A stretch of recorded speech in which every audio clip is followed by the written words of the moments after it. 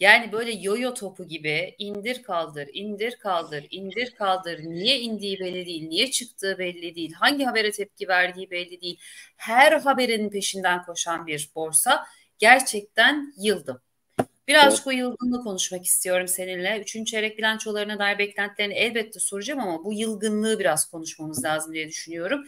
Ee, işte herhalde bu enflasyon muhasebesi e, bankalara uygulanma konusunda ertelenecek vesaire falan filan gibi bir e, şey yapıldı, e, açıklama yapıldı. O açıklamanın ardından da e, gelen bir e, pozitif seyir piyasayı aldı, tekrar toparladı. 8 bin e, 900'leri bir anda görürken birden 9100'leri görmeye başladık. 9132'yi de kapattık 0.97 ile %1'e yakın artıyla. Ha ne oldu? Garantiyle piyasa yükseldi. %4.5-5'lere doğru 416 bir primle kapattı. Ardından işte e, keza aynı şekilde yüzde ikinin üzerinde prim Akbank'ta görüldü. İş Bankası ya İş Bankası gibi kağıttaki e, oynama e, volatilite gerçekten insanın ağzını açık bırakacak durumdaydı. Yüzde bir kapattı o. E, Halkbank kamu tarafının e, en azından yeşilini yakanıydı. E, günün kaybedeni de bankalar tarafında Yapı ve Vakıf Bank oldu. Ama yani e, garantinin sürüklemesiyle birlikte başladı diyebiliriz. Garantiden seken Koç'a, e, Ak'tan seken de anladığım kadarıyla Sabancı'ya doğru kaçmış. Hı hı. Ne oluyor? Yani bu kadar haber peşinde koşmanın olayı nedir ya? Bilmiyorum. Gerçekten ee, bilmiyorum. Ya. Görüşürüz eline sağlık. Çok teşekkür ederiz yani bu akşamki yayın için. Çok sağ olun Hoca. Ya gerçekten bilmiyorum. Çünkü dediğiniz gibi yoyo topuna döndük. Yukarı aşağı, yukarı aşağı. Nedeni yok, niçini yok, nasılı yok. Ee, şöyle söyleyeyim. Dediğiniz gibi bankalarda da o kadar çok volatilite var ki artık hani Evet, siz de bıktınız. Ben de bıktım. Hani yıldım da değil, bıktım. Hani bıktım diyeyim artık. Yani yılmak yine yılarsında bir umut ışığı görürsün, tekrardan bir hayata dönersin ama gerçekten bıkkınlık hissi geldi. Ee, ya şöyle söyleyeyim, biz hangi haberi alıyoruz, hangi haberi satıyoruz bence bu bile e, fiyatlama mekanizmasında çok fazla bir volatiliteyi oluşturuyor. Yani şunu söyleyeyim, borsada vergi hikayesi olacağı zaman, söylentiler olduğu zaman biliyorsunuz ki zirve seviyelerden neredeyse %10, %15 geri geldik.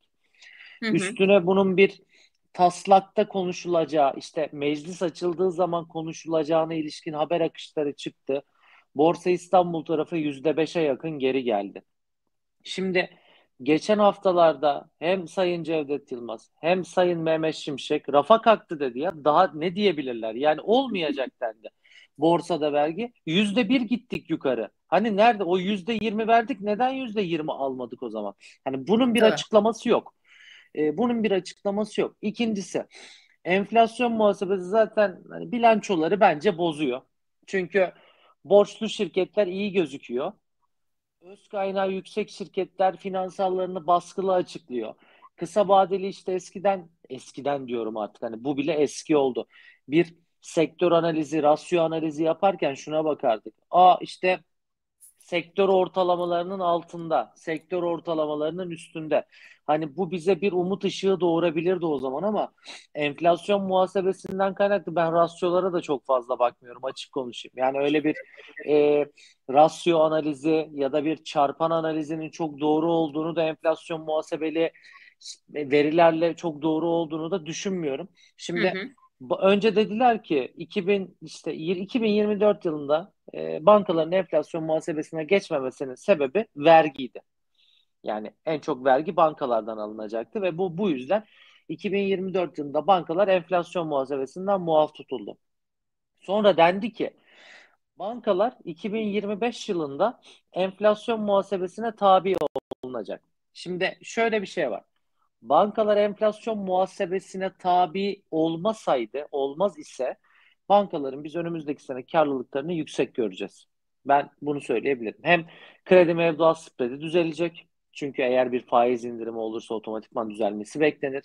Diğer taraftan faiz indirim döngüsüyle birlikte bankaların fonlama maliyetlerindeki azalış daha da artacaktır. Bunların hepsi bankaların karlılıklarını arttırır. Ama enflasyon muhasebesi bankalara uygulanırsa o karlılıklar uçar gider. Bu e, benim görüşüm. Ama bu sefer de işte o 2024'te alınan vergiler de alınamaz duruma gelir. Bugün evet öyle haber akışları vardı. Her yerden geçmedi en azından bu haber akışları. Yani data vendorlardan da çok fazla geçmedi. Bir söylenti de olabilir ama şöyle bir şey var. Enflasyon muhasebesi devam edecek mi? Ben bunu biraz daha düşünüyorum. Çünkü Cevdet Yılmaz geçtiğimiz günlerde 2025 yılı için enflasyon muhasebesi tekrar konuşulacak gibisinden bir cümle ortaya attı. Bununla birlikte enflasyon muhasebesi ortadan kalkar ise e, ya da kalkmaya yakın haberler gelirse biz Borsa İstanbul tarafında yeni hikayeyi bence tekrardan görebiliriz diye düşünüyorum. Şimdi ben yabancı yatırımcı olsam enflasyon muhasebeli bilançolara baksam yurt içi tarafa çok fazla gelir miyim? Ee, gelmem. Yani koskoca bankaların eksi açıkladığı, işte evet belki iç talepten kaynaklı olarak işte e, eksi açıklayan ya da baskılı olan birçok şirket var ama hani e, enflasyon muhasebesinin etkisiyle birlikte bilanço dönemini gerçekten kötü geçirdik ve üçüncü çeyrekte ikinci çeyreğe bence paralel olacak bilançolar tarafında. Tabii bazı sektörler ayrışacaktır diye düşünüyorum ama olumsuz haber akışlarını çok fazla eksi yönde fiyatlayan ve kırılgan bir yapıya sahip Borsa İstanbul BIST endeksi olumlu haber akışlarını coşkuyla karşılayamıyor. Hacime bakıyorum 71 milyar işlem hacmi olmuş. Yani 71 milyar işlem hacmi bence çok bir şey değil.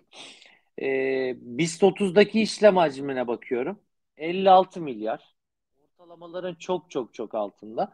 O yüzden likitsiz piyasada da biz yoyo topu olmaya devam ediyoruz. Bugün %2,5'luk bir volatilite vardı. Sabah saatlerinde hem jeopolitik gerginliklerin etkisi hem bugün çarşamba olması nedeniyle T2 bakiye düzenlemeleri.